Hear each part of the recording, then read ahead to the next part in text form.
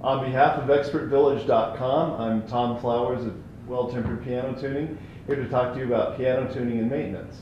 Well, here is some uh, rather non-standard maintenance. It's simply removing things that have accrued in the action, which include uh, tops from drink containers. Uh, the first 55 cents of this uh, work is taken care of. And making sure there's nothing going on uh, if for no other reason than things can begin to break. And over time, these parts become quite brittle. Um, I can tell at this point someone has done some work on this action and actually put some hammers on that are out of order. These pianos, actually, these hammers are really sized for down here, so that's going to be interesting.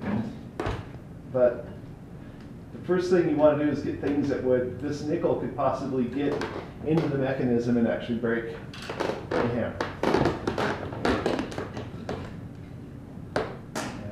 Dime. I'll probably have to pull my Herman Munster tweezers and get deeper into the action. Now, this is really the guts of the mechanism. These are called wippens.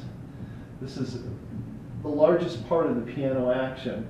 It regulates how the hammer is sent, how the hammer returns. This is called the back check. This controls motion after the piano has done its job. Uh, if it's not in place, the piano can get quite wild and the player will not have a responsive action at all. The overall condition of the action is typical for a piano of this age. Um, very, very dry.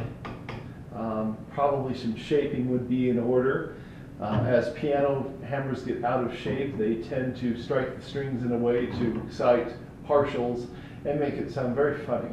Uh, sometimes the second partial or third partial is stronger than the initial and it sounds very bizarre to the ear.